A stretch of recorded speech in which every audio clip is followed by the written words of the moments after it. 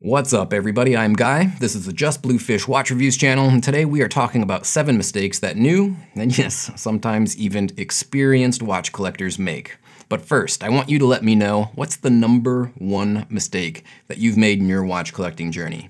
Leave me a comment down below sharing your experiences, and hopefully it'll help me avoid some of those things that I haven't even thought of yet. Now, let's roll the intro and start the list.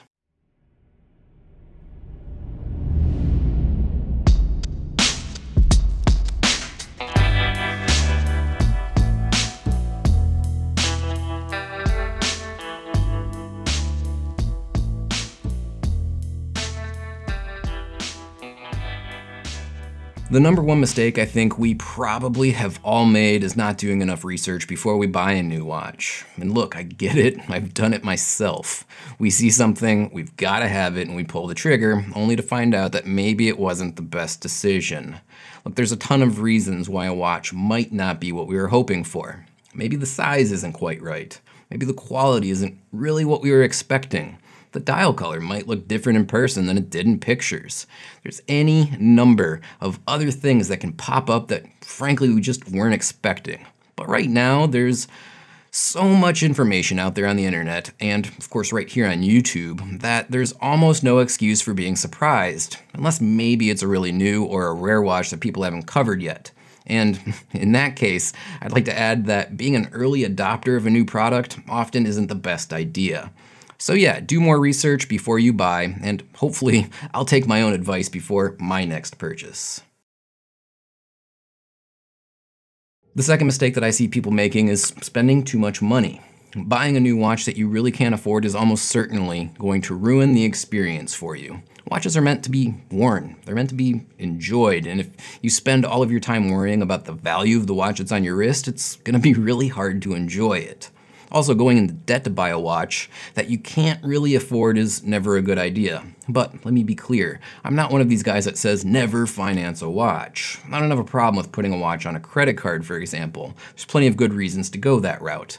But only do that if you know you can really afford it. Because building a mountain of debt that you're going to struggle to pay back on a depreciating asset probably isn't a good plan. The third mistake is sort of the flip side of the last one, and that's not spending enough money on a watch. So here's the thing. We get the itch to buy a new watch, and the one that we want might take a few extra months of putting money aside before we can afford it. So instead of being patient, we buy something more affordable right now to scratch that itch. This is almost always a mistake. Nine times out of 10, you're still gonna want the other watch, and now you've just set yourself back even longer on saving up to get it yeah, you can always sell the cheaper watch when you're ready to buy that one you really wanted. And if you bought it right, you might not lose money. But that can be tricky, and you might also end up losing 50% of what you spent on that cheaper watch. So I say save up and buy the one that you really wanted. As the old saying goes, buy once, cry once. Or is it buy nice or buy twice? Either way, it still makes sense. Now, number four in the list of mistakes that new and even experienced watch collectors make is not getting insurance, especially on your expensive watches. So I got an email from a viewer a while back. It's kind of a story that I want to share with you guys. I did a video on it, but if you missed that, I want to repeat it here. He just bought a new Rolex Sea Dweller, and he had an accident and the watch got banged up pretty badly. Not just a few days after he bought it. And it wasn't insured and ended up costing him over a $1,000 to have it repaired if memory serves. If you're spending thousands of dollars on a watch, just get it insured. I think I pay around 125 bucks a year to insure my Submariner. I pay even less to insure my Speedmaster. And I don't have to worry about them when I'm wearing them. Get insurance. Preferably, at least in my opinion, through a private insurer so it's not tacked onto your homeowner's policy. That way it won't affect those premiums in the event that you ever have to make a claim. So number five, and the easiest mistake to avoid that I see people make, and yeah, I have done it myself too, is not getting the best price when buying a new watch. Buying a new watch from a retailer at full list price is usually a mistake. Unless, of course, we're talking about limited or rare or hard to get models. But on everything else, negotiating or haggling a discount is all but expected. And yeah, I know haggling is something that some people aren't super comfortable doing, and I get that. But just keep in mind that the list price is almost never the real price. Now, this reminded me about someone that commented to me once that a certain website listed all of their watches at full retail, and they would never buy from that dealer. Here's what you gotta understand about that is that oftentimes a manufacturer won't allow a dealer to advertise prices below the suggested retail price. So if you're gonna go to a dealer website and they list a price on a watch that seems too high, pick up the phone and call them and ask them what they can do. Ask them what their best price is. Better yet, do your own research and know what the going price is and offer them that price. But don't try to negotiate price with the dealer, and then when they accept your terms, say something like, okay, let me think about it and I'll call you back, because that's kind of disrespectful. Number six is simple, but it's often overlooked. Every watch will at some point require service, and it can be expensive relative to the price of the watch. So don't forget about future service costs.